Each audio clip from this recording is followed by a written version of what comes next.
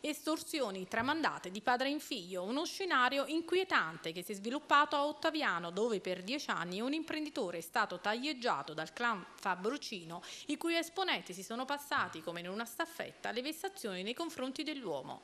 La vicenda è emersa, portando a tre arresti anche grazie alla denuncia della vittima, che aveva subito una rapina nel suo esercizio dieci minuti dopo aver pagato la rata del pizzo al suo attuale persecutore. La rata mensile, che all'inizio dell'estorsione anno 2001 era di 700.000 lire, nel 2011 era arrivata a 2.000 euro. Il primo responsabile dell'imposizione fu Luigi Antonio Bonavita, storico referente del clan, scomparso nel 2004 probabilmente per un regolamento di conti.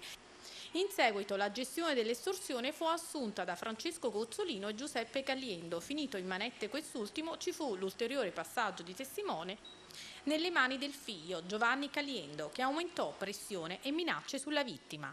A far traboccare il vaso spingendo l'imprenditore alla denuncia fu la sua goccia di una rapina subita dall'uomo nel suo esercizio in pieno giorno, pochi minuti dopo il passaggio di Caliendo Junior per riscuotere la rata che in teoria avrebbe potuto garantirgli la protezione e proprio mentre il suo aguzzino voleva imporgli un ulteriore aumento del pizzo. Le indagini hanno fatto finire in carcere Francesco Cozzolino e Giovanni Caliendo, il cui padre Giuseppe, destinatario di un'ordinanza per questa vicenda, era già in carcere per altre vicende.